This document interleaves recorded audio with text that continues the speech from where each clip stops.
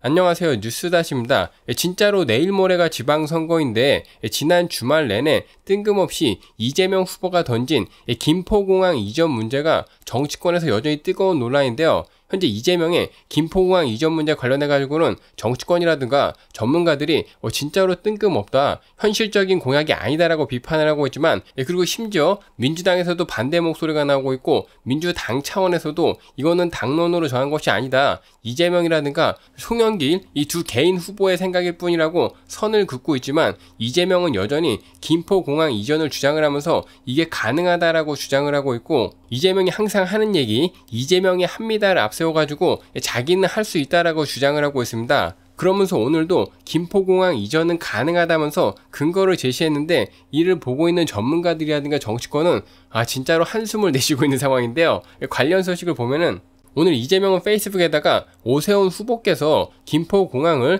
인천공항에다가 통합 이전을 하자라고 하는 자신의 공약에 대해서 제주 관광이 악영향을 입는다라는 해괴한 주장을 하셨다라고 얘기했고 김포공항하고 인천공항은 고속 전철로 10분 거리밖에 되지가 않는다면서 오세훈 후보의 발언은 국민을 우습게 여기는 악당의 선동이라고 비판을 했으며 세상 물정을 모르는 어린 철부지의 생떼인가라고 비판을 했습니다. 하지만 이재명 후보의 이와 같은 주장을 본 많은 분들은 어이가 없다라는 반응을 보이고 있는데 우선은 이재명이 이야기하고 있는 김포공항에서 인천공항까지 가는 거리가 33km인 것은 사실이지만은 이건 어디까지나 지도로 보았을 때 직선 거리를 쟀을 때 문제인 것이고 제가 뭐 더 이상 말씀을 드릴 필요도 없이 지도상의 직선거리하고 실제로 차라든가 뭐 대중교통을 이용을 해가지고 거기까지 도착을 하는 데에는 상당히 많은 차이가 있죠. 그리고 전문가들 역시도 김포공항에서 인천공항의 제1터미널까지 공항철도를 이용을 하면은 10분이 아니라 38분이나 걸린다라고 지적을 하고 있고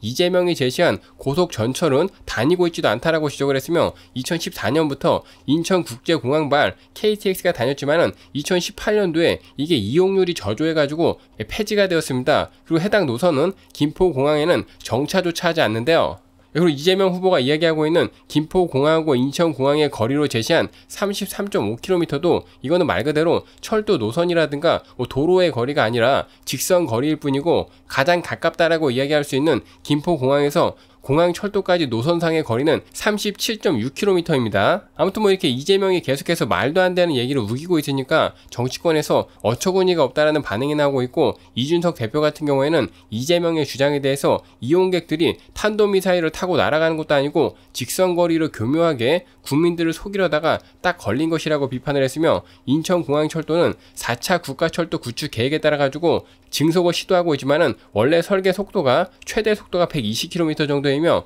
표정 속도는 시속 75km 정도이고 표정 속도가 100km인 철도를 고속철도라고 하지 않는다면서 이재명 후보가 무지하다라고 지적을 했습니다. 그리고 고속 전철은 아니더라도 KTX-T 노선 또한 김포공항과 인천공항을 잇는 노선은 계획이 된 것도 없다라고 지적을 하고 있는데요. 그것도 이준석 대표는 김포공항 대신에 인천공항에서 제주도로 가려면은 제주 관광에 악영향이 오는 것이 맞다라고 다시 주장을 했고 오세훈 시장이 이야기한 것이 바로 민주도 제주도당의 입장이라면서 거리하고 시간 비용이 늘어나면은 수요 자체가 줄어드는 게 맞고 그러면서 이재명 후보가 아무리 초밥을 좋아하고 소고기를 좋아해도 집에서 초밥집과 소고기집이 멀면은 이동 비용이라든가 배달 비용, 시간 등을 고려해가지고 초밥과 소고기를 덜 소비하게 되는 간단한 원리라면서 예, 제주도까지 가는 시간이라든가 비용이 모두 다 증가하는데 제주도 관광이 더 활성화될 거라는 헛소리는 초밥과 소고기가 비싸지고 시간이 오래 걸리는데 많이 먹게 될 것이라는 기적의 논리라고 비판을 했는데요. 근데 이건 뭐 맞는 얘기인 게 물가만 놓고 보면은 사실 제주도라든가 동남아하고 비교해 보면은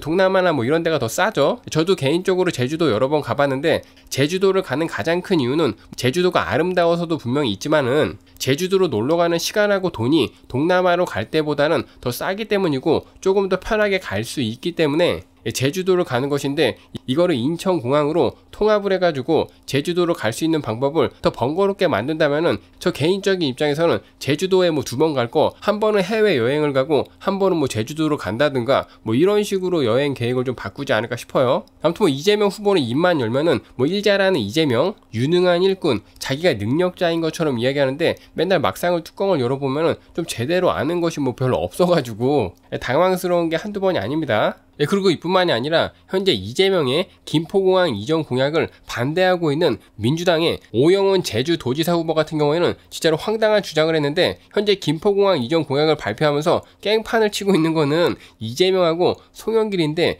느닷없이 이준석 대표에게 사퇴하라라고 요구를 했는데요. 이번에 민주당의 오영훈 후보 같은 경우에는 기자회견을 열어가지고 김포공항의 이전 문제는 현실적으로 어려운 문제라면서 가능하지도 않은 일을 정쟁화하고 있는 이준석 국민의힘 대표가 이번 문제에 책임을 지고 대표에서 물러나라라고 요구했습니다. 근데 이준석 대표가 좋고 싫고를 떠나가지고 김포공항 이전 문제로 개판을 치고 있는 거는 이재명이잖아요. 송영길하고. 그러면 사퇴 요구를 하더라도 이재명한테 하든가 송영길한테 해야지 정상인데 이걸 왜 뜬금없이 국민의힘에다가 비판을 하면서 이준석 대표가 사퇴하라라고 이야기하는지 도저히 이해할 수가 없는 논리고 이준석 대표 역시도 어이가 없다면서 아니 김포공항 이전 공약을 낸 것은 이재명 후보이고 김포공항 이전 공약을 철회하라라고 이야기하면서 사퇴는 이준석이 해야 된다는 거는 이거는 도대체 무슨 기적의 기승전결인가라고 지적을 했으며 사퇴 요정이냐 민주당 제주도 정치인들은 진짜로 이상하다라고 이야기했는데요. 그러면서 이준석 대표는 대장동의 몸통이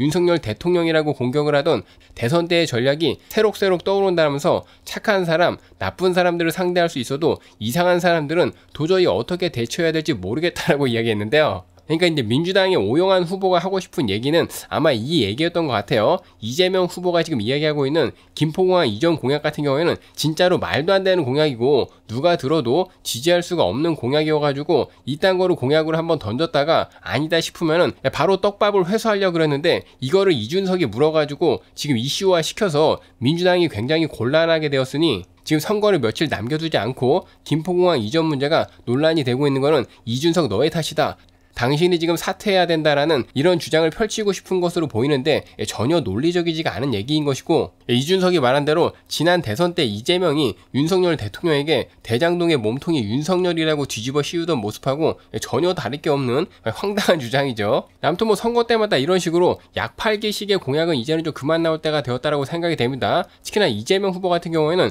불과 석 달 전 대선 때 중국이나 일본 등과 직통을 할 수 있는 김포국제공항은 강서구의 자산이라 아니라고 이야기했는데 그런데 연고도 없는 인천에 출마를 하자마자 이걸 없애야 되는 부채라는 식으로 말을 바꾸었고 공항 고속철도 같은 사회 기반 시설은 중앙정부가 수년 동안 타당성 조사를 하고 천문학적인 예산을 투입을 해야 되는 초대형 국책 사업인데 그리고 이런 사업은 범국가 차원에서 논의를 해도 모자랄 사안인데 국회의원, 지자체장 후보가 공약으로 내세운 거는 아무리 선거가 급하다라고 하더라도 소설을 쓰고 있네라는 말밖에 나오지가 않는 상황이며 예, 특히나 민주당 같은 경우에는 작년에 부산시장 보궐선거 때도 가덕도 신공항을 지어주겠다면서 공개적으로 매표행에 나섰고 해당 공항 같은 경우에는 수지 타산이 절대로 맞지 않는다라고 그렇게 이야기했는데 문재인 정부에서는 지난달에 건설안을 의견을 했습니다. 그리고 이 때문에 정치권에서는 부산시장 성추행 추문에 따른 지역 민심을 무마하려고 추진했다라고 해가지고 이거는 오거돈 공항이라는 비아냥이 쏟아지고 있는데요. 아무튼 뭐 이번뿐만이 아니라 과거에도 대선이라든가 총선을 치를 때